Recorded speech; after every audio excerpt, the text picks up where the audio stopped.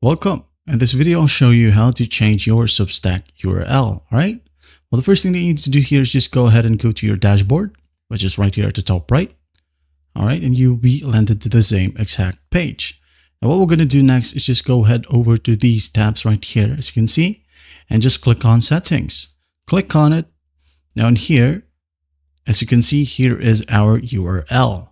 Now what we're going to do to change that is basically go to the left pane, which is right here and just go head over to domain right here. Click on domain. And as you can see here, here's our uh, default URL, which will end at .substack.com.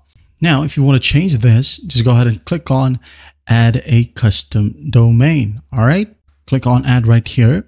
And it says here, add a custom domain. So as you can see here, it will charge you. And it says here, this flow will allow you to move your Substack to a domain you already own. Substack charges a one-time fee of uh, 50 bucks to complete this operation. But please note this does not cover the cost of registering your domain. You'll have to purchase a domain separately. Now you're going to want to put your card number right here, the uh, month, year, and CVC or CVV. Then just go ahead over and submit. All right. You'll just have to wait about 24 hours for your domain to be accepted. And once done, right here, your URL will be changed. Now, if you want to change this URL right here, or basically change your publication domain name, just go and scroll down right here at the left pane. And as you can see, there's an option called Danger Zone. Just go to click on it. And as you can see here, you can go ahead and change your publication subdomain, which is right here. This will break all links to your, to your existing URL. We will change this. Or you can go ahead and change a subdomain without breaking links.